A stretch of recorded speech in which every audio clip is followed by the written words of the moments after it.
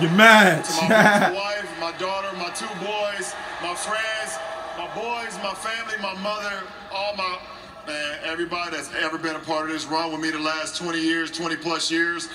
I just want to say I thank you so much because I wouldn't be me without y'all. All y'all help, all y'all passion, all y'all sacrifices helped me get to this point. yeah.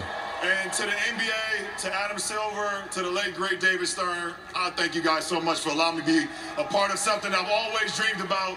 Yeah. And, um, I would never, ever, in a million years, uh, dreamt this even better than what it is tonight. So, fuck, man. Thank you guys.